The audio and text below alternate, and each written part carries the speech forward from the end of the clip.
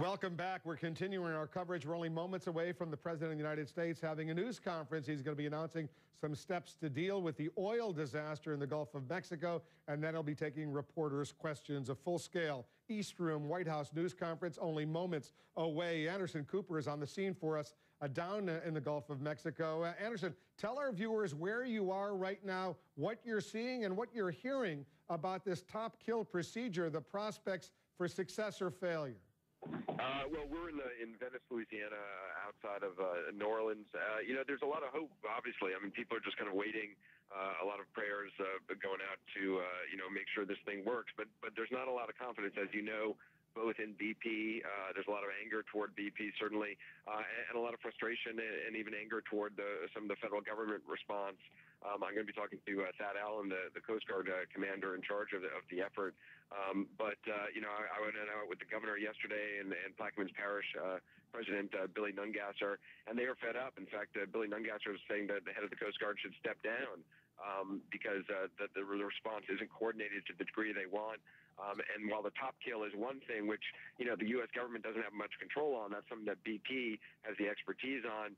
Uh, there's a lot of frustration among local officials and the governor about the cleanup operations. We were out in an area in the marshland uh, that that oil has been soaked in for for a week now, and it doesn't look like anyone's been out there to try to clean it up. So there's a lot of you know just anger and, and a lot of questions for President Obama when he comes tomorrow.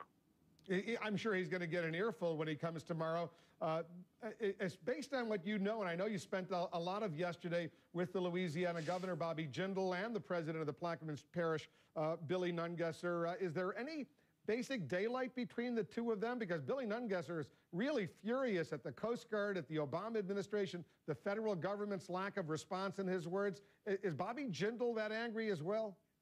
Um, you know, he's more measured. Uh, I would say. Uh, you know, he's uh, he's uh, much more um, uh, probably cautious in some of his statements, but he certainly uh, says he's frustrated. He certainly says that the federal response has not been everything he would like. He wants more booms out here in the water. he wants greater coordination. He's very frustrated with the Coast Guard, saying that there's not uh, that each of these parish presidents doesn't have a, a Coast Guard representative with decision-making authority. Uh, and, and Billy Nungesser says a lot of the, the Coast Guard officials he's had with him, uh, he said he's had numerous uh, ones with him, uh, they keep getting changed out and that they keep deferring to BP on things. And so there's this question of really who's in command, who's calling the shots, and is there some organizational way to make it run better? That seems to be what what the uh, the governor Bobby Jindal is really focused on. In addition to this, they you know they have this whole project of wanting to build berms uh, out uh, offshore that connect some of these barrier islands to, to prevent uh, any more oil from actually coming uh, into the marshes. There's a lot of environmental questions about that, about what kind of impact that might have on, on Mississippi and, and currents. Uh, and the Army Corps of Engineers at this point is not giving a permit and, and hasn't at this point. Anderson, I'm going to have you stand by. Suzanne Malveaux, our White House correspondent. You're over at the East Room getting ready for this uh, news conference. Suzanne, uh